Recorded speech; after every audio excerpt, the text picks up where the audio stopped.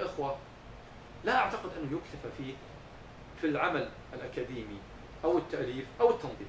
أنا أعتقد أن الأمة بحاجة إلى خطوات عملية وجريئة كما تفضل الأستاذ وشجاعة. وأناس يعني مستعدون أن يضحوا. هذه المحاولات على مدى 200 سنة عملت حتى أثناء الهدوء. أنا طبعا أفرق بين بين الأزمة الطائفية قبل الثورة الخمينية والأزمة الطائفية بعد الثورة الخمينية. مما يؤكد أن هذه النار نار فارسية ليست دينية. بدليل أنه مهما كانت من فتن كانت ضمن دائرة الاحتواء قبل الثورة الخمينية. بعد الثورة أصبحت قنابل وأصبحت انفجارات انشطارية لا تملك أن تسيطر عليها إطلاقا. مما يدل على أن المحفز والدافع هو الثأر الفارسي ضد العرق العربي. إذا وضعت بهذا الإطار أخرج من هذا الكلام إلى النقطة التي هي بيت القصيدة للدكتور الدكتور حينما تكلم عن التشيع العربي والتشيع الفارسي وأنا أعتقد أن جميع كتبه بشكل أو بآخر تدور حول هذا المحور وهو محور جدير بأن يهتم به. السؤال نظرتنا إلى القضية نظرة عقائدية بحتة أو نظرة دينية بحتة أو نظرة فقهية بحتة لا يكفي. أنا أعتقد لابد أن نضيف إليها النظرة المصلحية اللي هي السياسية ورؤى طويلة الأمد.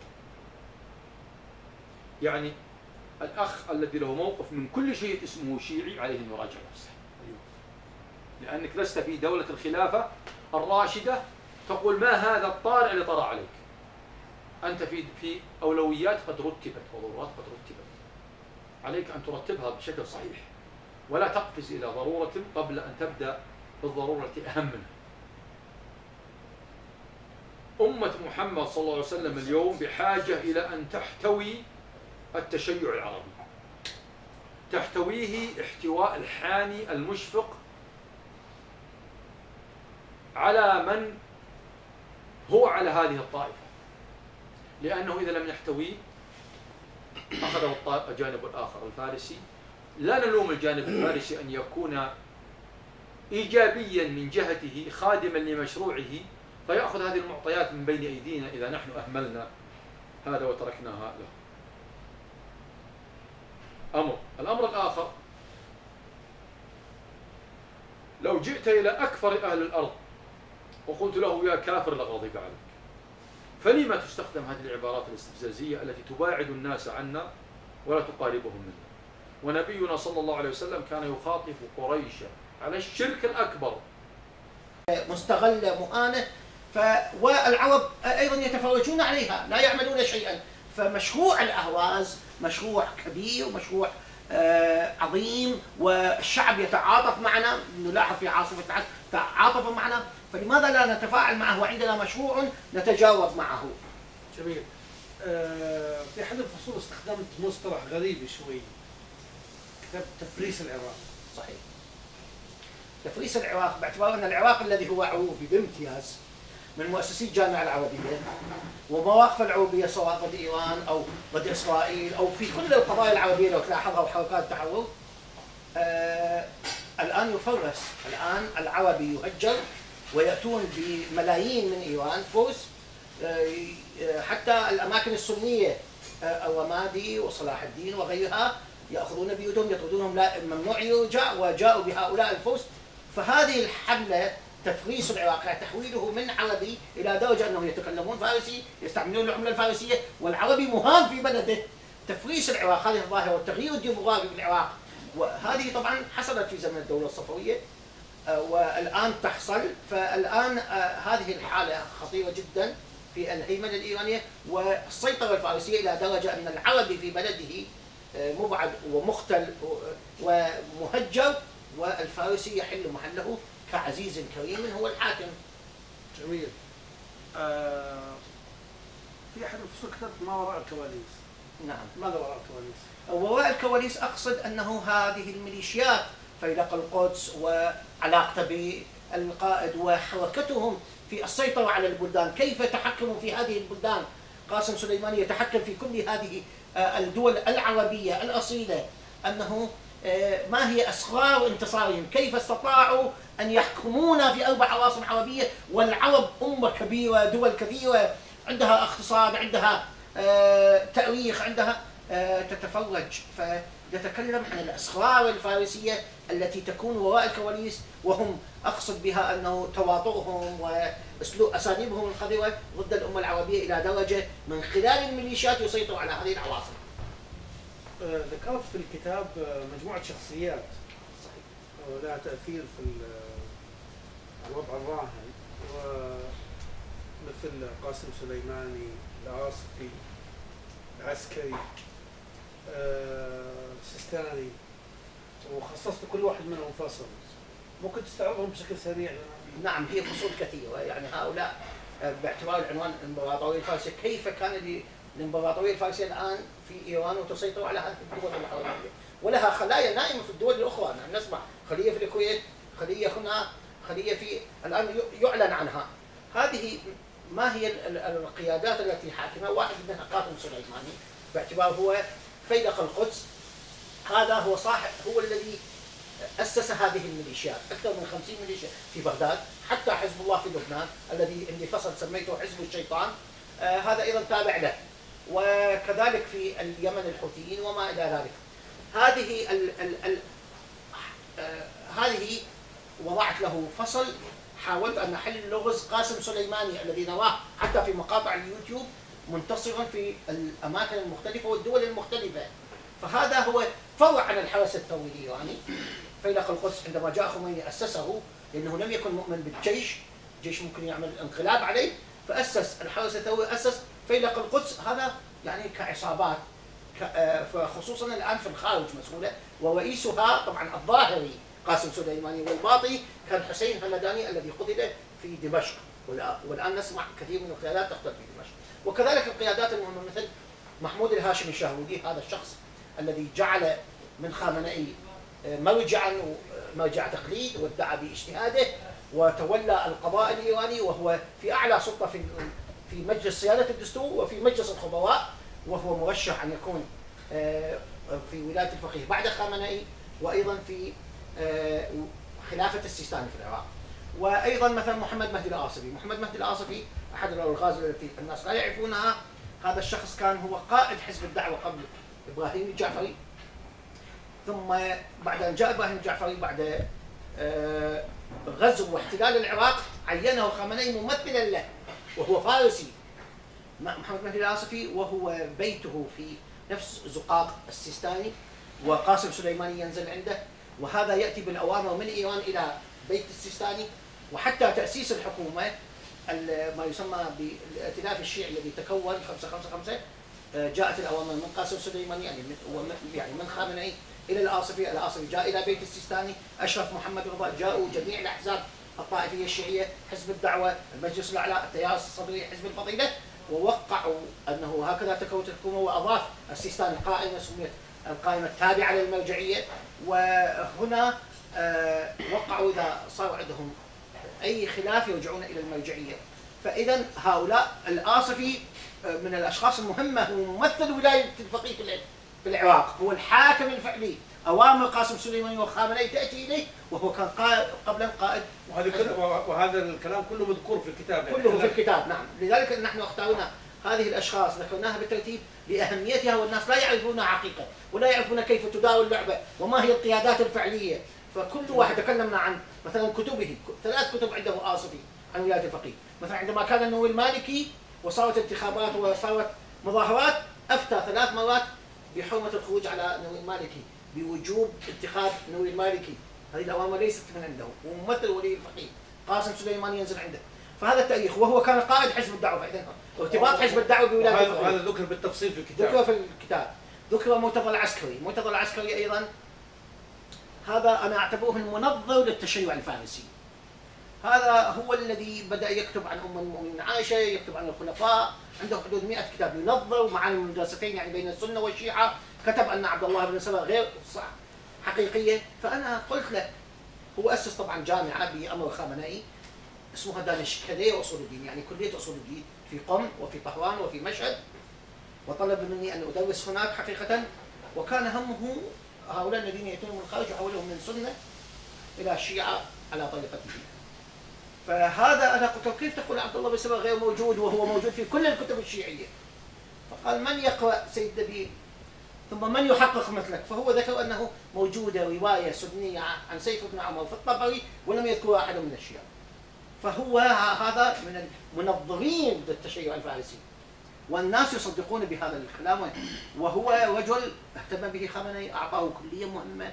السنة الذين يأتون بالخارج يحولهم إلى شيعة. المناطق في زاهدان في سيستان في آه، الأماكن الأخرى يأتي بهم عند آه، حوزات للرجال والنساء. هذه الشخصيات الفعلية التي يستعين بها المرشد والنافذة فكريا وعمليا هو واحد من رجالاتها. فنذكر كثير من هذه الشخصيات السيستاني له دور مهم. كثير من الناس يقول لك لا يتكلم لا ما هو دوره فأنا أضع أكثر من 30 صفحة في السيستاني وتاريخه ودوره وهذه الشخصيات مهمة جدا. جدا هناك فصل خاص لقاسم سليماني فصل للشاه ودي. للشاه ودي نعم هذا الذي قلنا موشح كاظم الحائري له فصل عاصفي العسكري حزب الدعوة الحركة الإسلامية في العراق السيستاني أنا تكلمت عن التحالف الغادر إيش تقصد فيه؟ التحالف الغادر يعني أمريكا وإسرائيل وإيران. الناس يتصورون أعداء وفي الواقع هم ليسوا أعداء. يعني فصدر في أمريكا كتابان عن ذلك. أحدهما تريتا بارسا الف كتاب ان التحالف بين ايران وامريكا وإسرائيل وهو مستشار الاداره الأمريكية. هو حضر أكثر من 130 اجتماع بين القيادات الأمريكية والإسرائيلية وإيران ويقول لا يوجد عداوات. هو إيراني هو يعرف من الداخل. وأيضا أنا أذكر كثير من الأمور يعني أنه كيف إيران ساعدت على احتلال العراق وأفغانستان؟ كيف ما, ما هو اسم الكتاب مرة ثانية؟ آه، اسمه التحالف الغادر بين إيران وأمريكا وإسرائيل. بالضبط. وبالإنجليزي؟ تتذكر اسمه بالإنجليزي؟ أنا حاط اسمه بالإنجليزي آه نعم. يعني موجود ضمن قائمه المراجع الاسم نعم. باللغة الإنجليزية لمن اراد ان يرجع نعم. حضر 130 اجتماع. نعم أكثر من 130 اجتماع ويذكرها توصيفه ويقول لا يوجد عداء الناس يتصورون عداء بين إيران وإسرائيل وأمريكا والشيطان الأكبر وهذه الشعارات هذه غير حقيقة. هو بنفسه حضر هذه الاجتماعات وأيضا يمكن يكون هذا يروج في الإعلام أنه إسرائيل تقول آه، إيران تقول الشيطان الأكبر ويرد عليه اعلاميا يعني كي يخدعون فيها الدهماء من الناس. أحسنت. أي.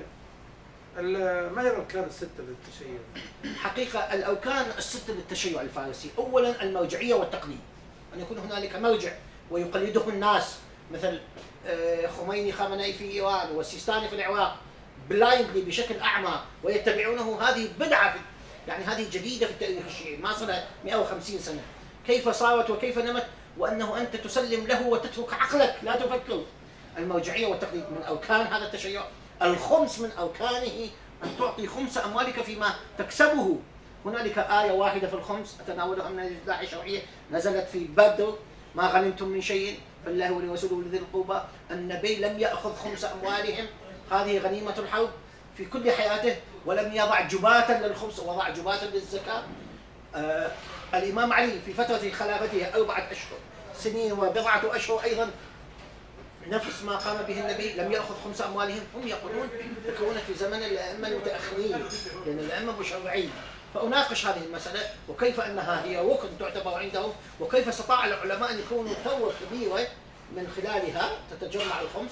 وليس فيها صادرة وواردة الزكاة نسبة قليلة 2.5% وفيها صادرة وواردة ومعروف تذهب إلى الفقراء. هم لا يأتون للفقراء هم يأتون يدفعون بها لمشاريعهم سواء كان لنشر التشيع أو لاستعمال الميليشيات يفتون بذلك.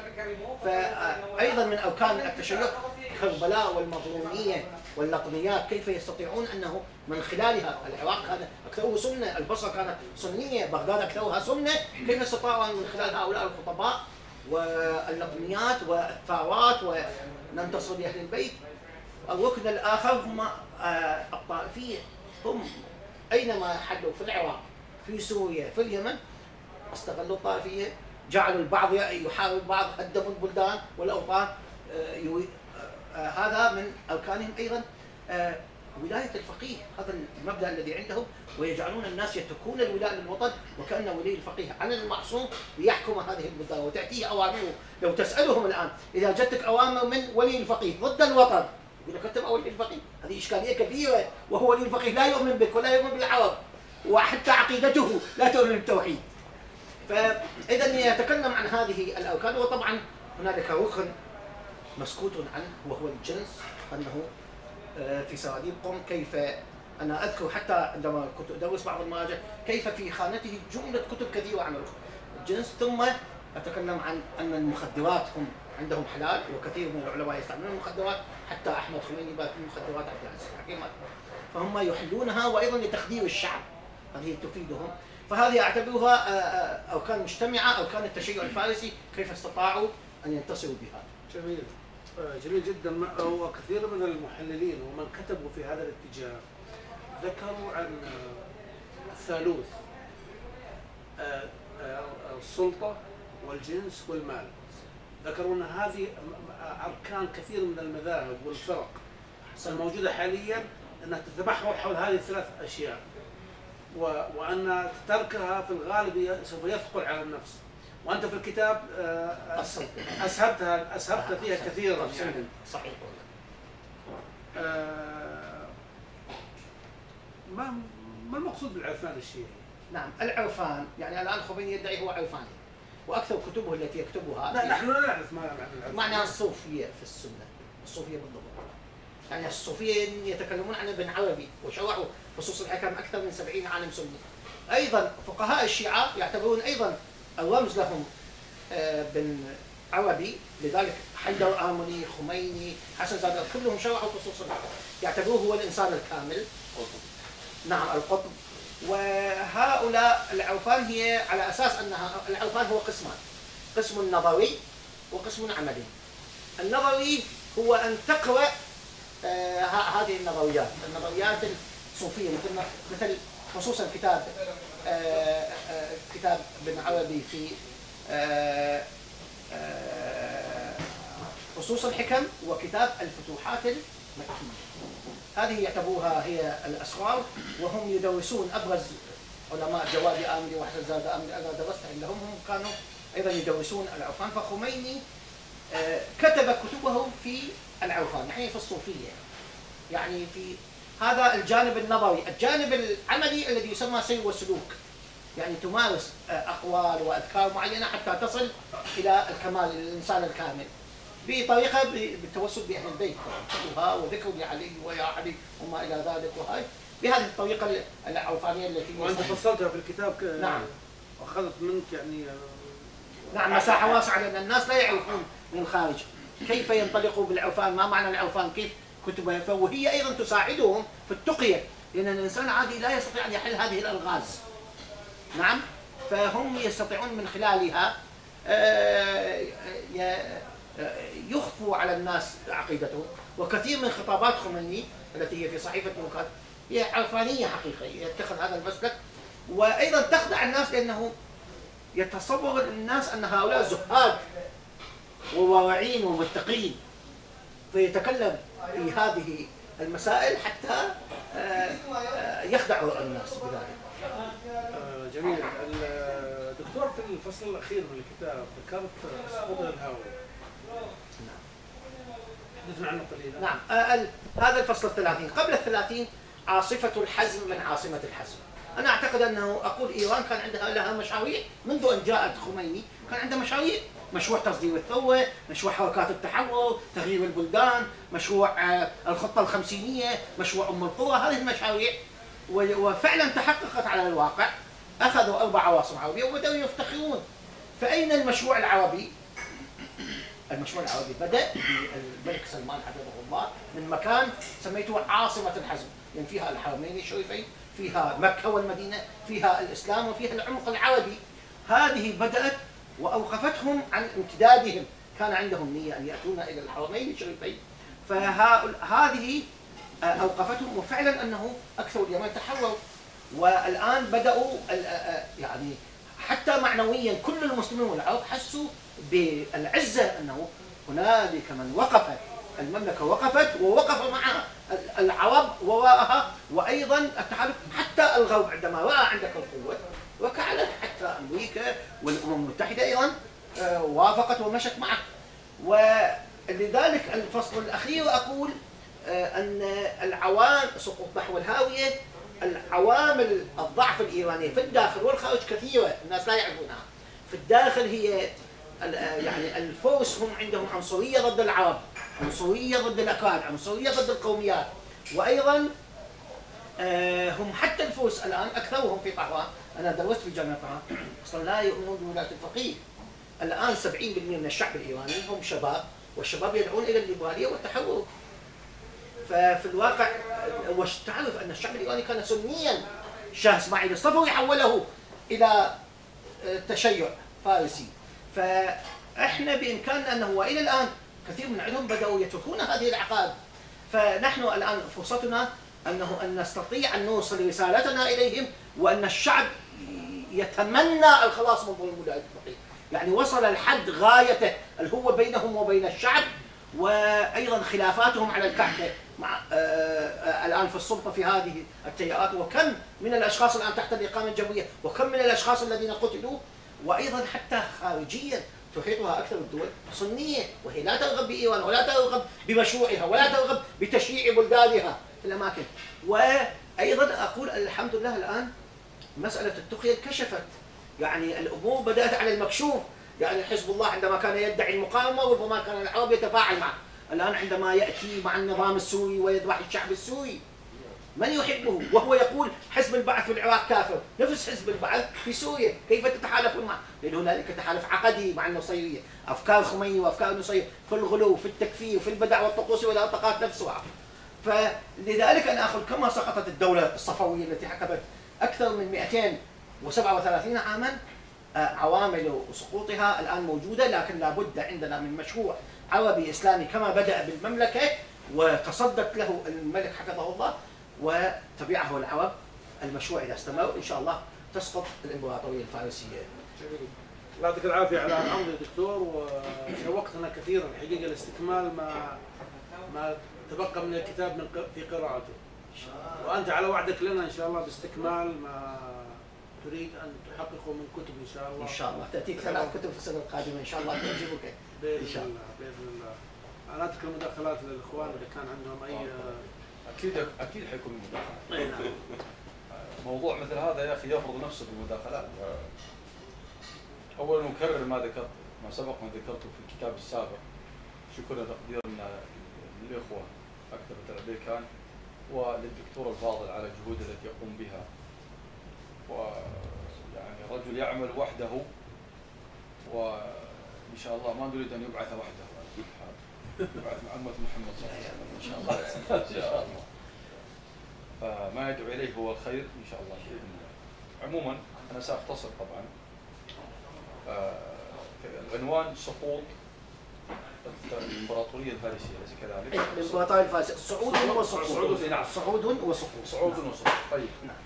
يعني أنا أعتقد إنه قطعا الدكتور هو لا يتحدث عن قوميات ولا عن عرقيات لكن أما وقد أخذت القوميات موضعها والعرقيات موضعها فمن الطبيعي أن يكون الكلام على تشخيص النزاع العرقي الموجود الآن.